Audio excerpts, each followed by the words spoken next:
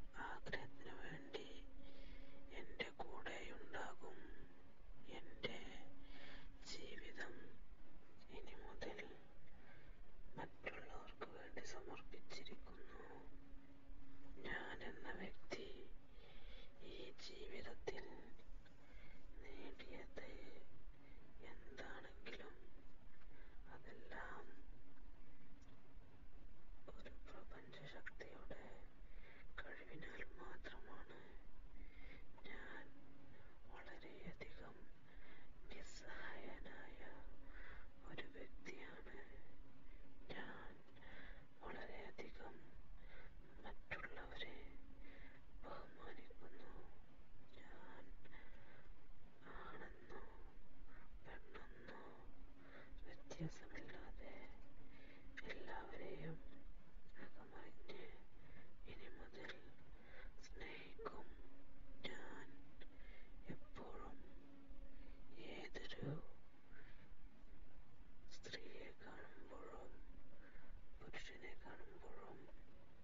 holiday